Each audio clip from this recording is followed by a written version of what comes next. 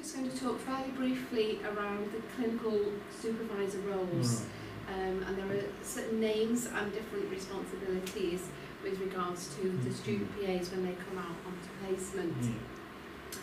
Um, there's quite a few documents, at least three documents that, that can help support the students and yourselves when students come out to you on placement. And the first one that I have here, you can have a look at the, the same picture as on the um, PowerPoint. This is a document that's been put together by Henway, by the by Judith McGregor at Henway, mm-hmm. talking, I suppose, at that um, programme level rather than the UCLAN level, although it has been um, UCLANised, if there's mm-hmm. such a word even. So the content is, is particular to UCLAN mm. with generic material that is the same for all three universities. And this is a, a, a placement handbook just to help and again, in light of perhaps um, feedback from the first year that the programme mm. ran, is, is some key um, information around common questions that have been asked and roles and responsibilities again, and how it links in with the lead employer as well, which is a, a pretty novel situation that our students mm. find themselves in. The fact that they're not just students, mm. they are actually employed mm. through St Helens and Knowsley, the, the lead employer, mm. as is all the students. Um, you can have a read of the blurb at your leisure. That's just to say that this is underpinned by, by knowledge that is out there in terms of both the, the faculty and also GMC guidance around education supervisor. And the education, the three roles really that the student has in order to support them throughout the programme is the educational supervisor out in clinical practice, the clinical supervisor in clinical practice, and then the academic supervisor. That's the, the people back at university, myself, Peter, and our colleague mm. Helen as well. The educational supervisor here at Blackpool is Dr Harriet Preston and she is, is responsible for the students' overall learning programme and I do know definitely right from the start and throughout also Michael Farrell and Michael's mm. colleague Julie as well, mm. Julie Summers, mm. have been instrumental mm. in providing the holistic care that is required to oversee the students' educational mm um, execution here and fulfilling their needs, which does vary, especially as the year progresses mm-hmm. and depending on the student's previous placements. Certainly by the time it comes to their third placements here at Blackpool, mm-hmm. they will have some specific learning needs and they will have learning needs that don't need addressing anymore because they have been deemed competent.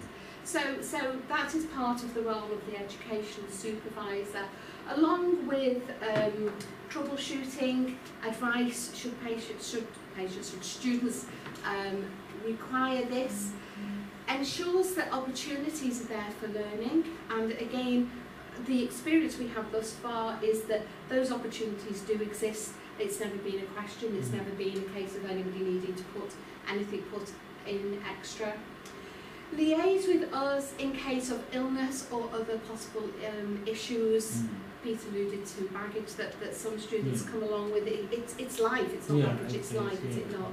And so there are other needs as well. And Harriet, or the education supervisor, is, is, um, is key in helping to manage those sorts of situations. And also passing on kind of um, a, an independent person in between university and the clinical placement.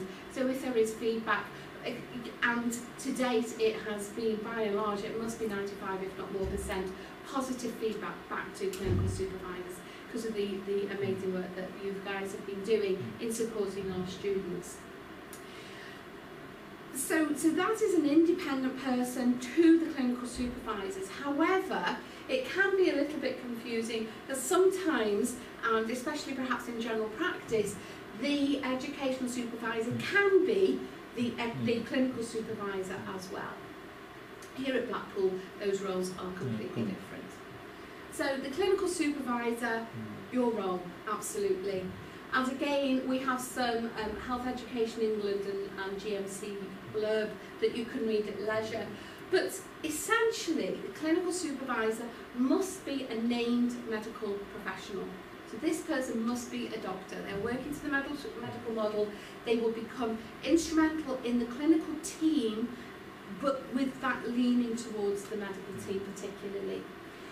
Oversee the students' clinical learning, the specific clinical um, uh, needs that they have.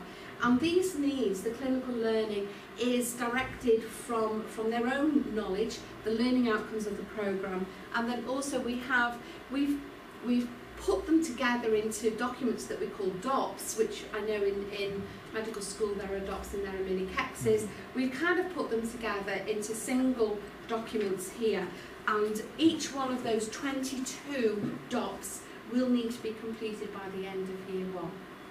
And so there is a certain pace that needs to be mm-hmm. maintained in overseeing the students' learning. Also, there is a requirement for the clinical supervisor to see the student um, three times during their placement.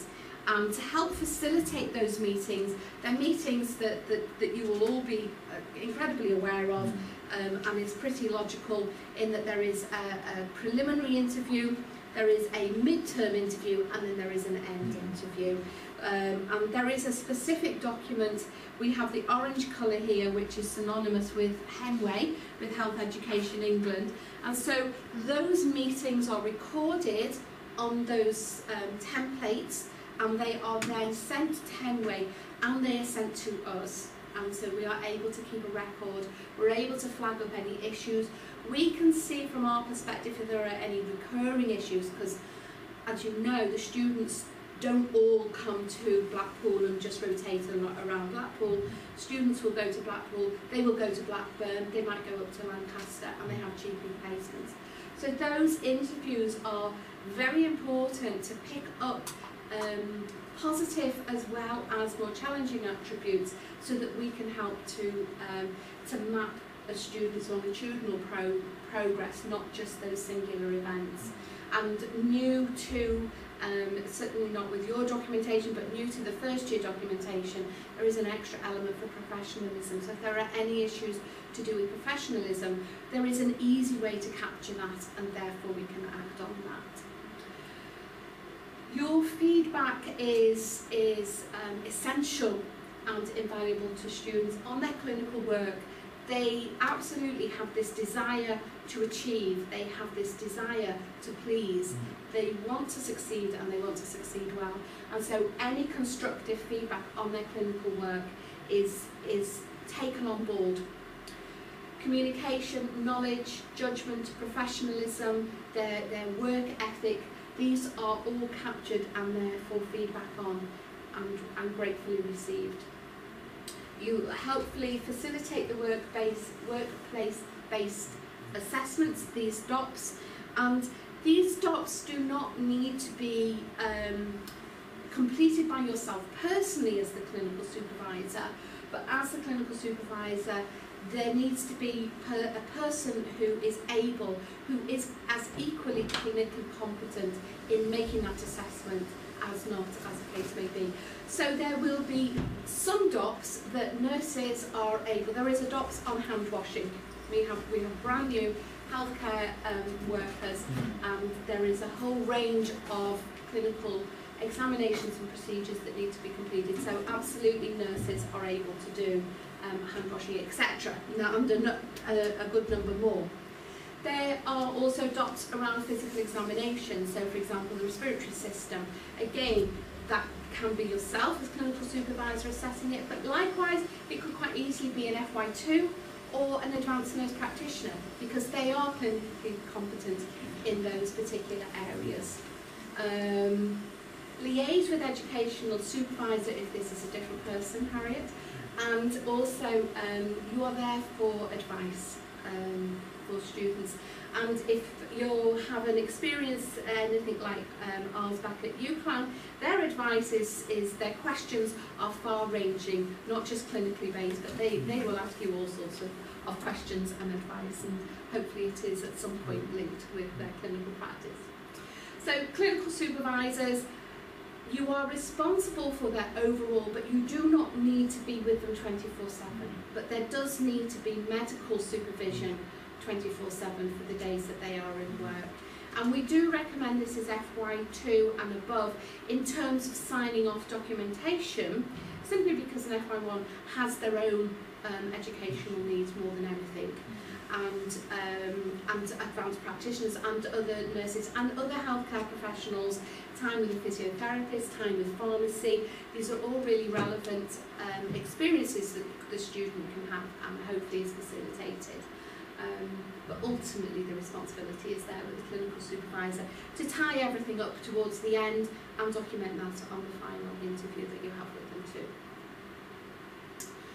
Other responsibilities may include, um, if you have a, a read of that slide and see if there's anything there that, that pings out that you would like me to explain or expand on.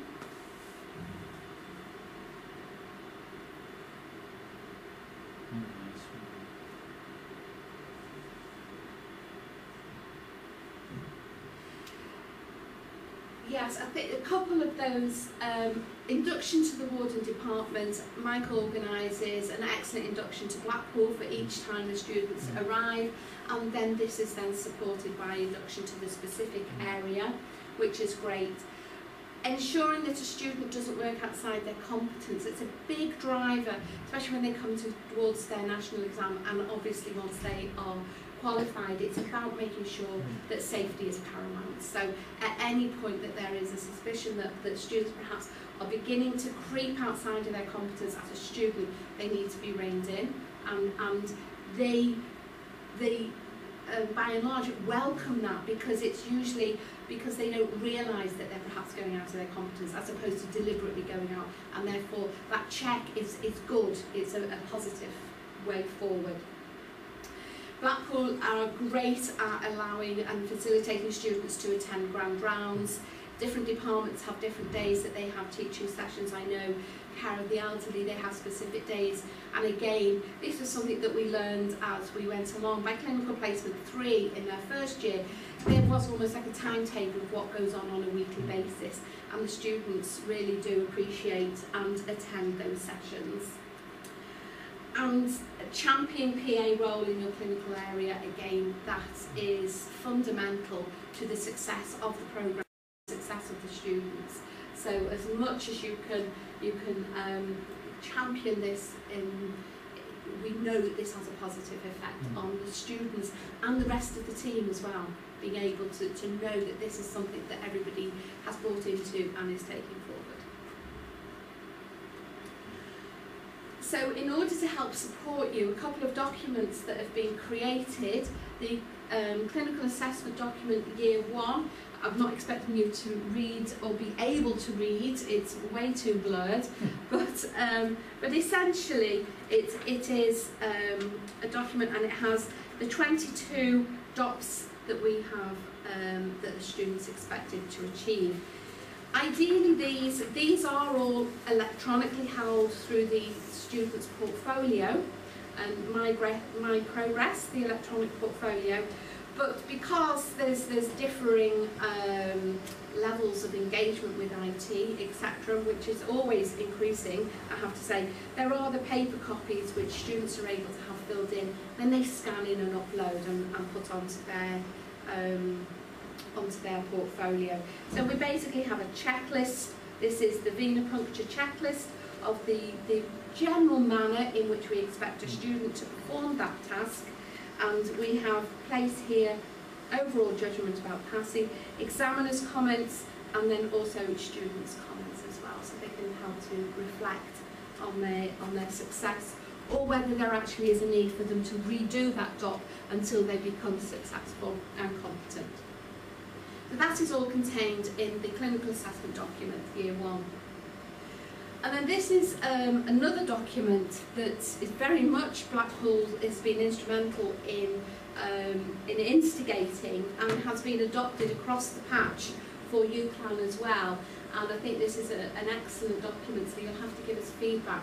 They'll be introduced for the first time this year. Mm. And this is a document which enables students to take with them across the two years where they can for example, venipuncture, if they have been deemed competent and have got X amount of venipunctures signed off in this clinical passport, when they go to Blackburn Hospital, they can just continue with their venipuncture.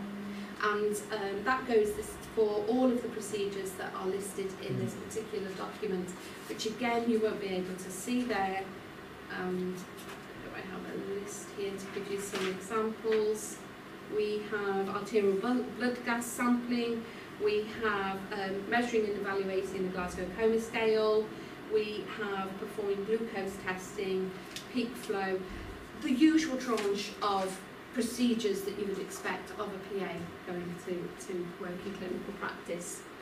So both of those documents are, um, are going to be with the students and, and hopefully be able to help support and engage, especially when they come into their first placement, when they are a little less clear about what is their expectations. And you guys are definitely going to help to lead them in this with your experience, which is now at least 12 months more than their actual experience.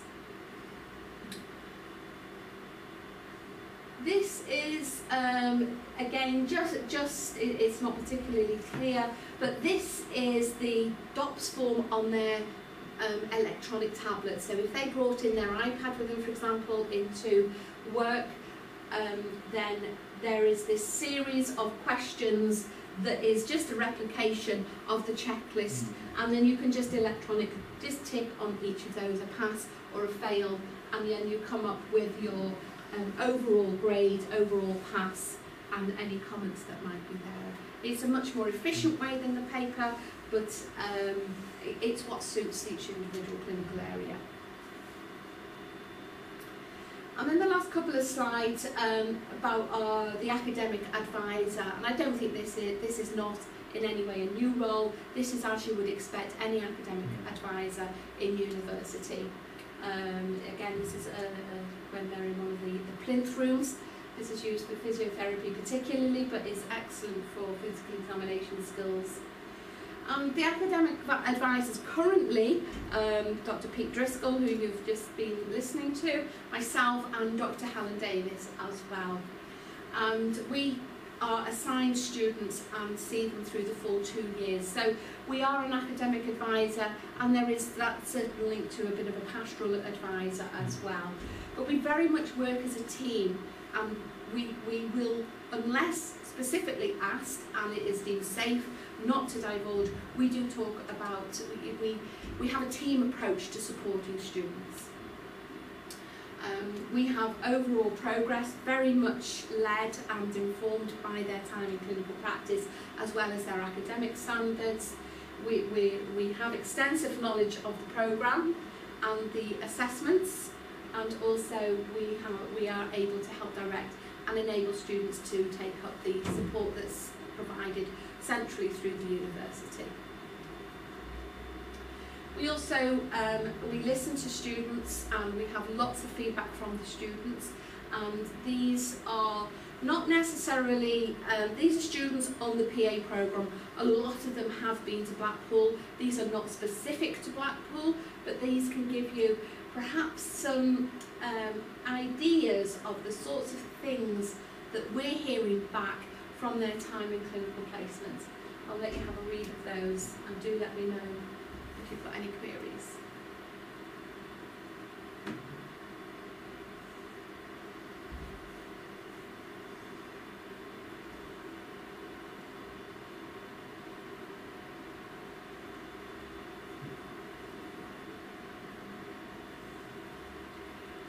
Reminding myself of the content of this slide, I, I assume we ask them what more can we do yeah. for you.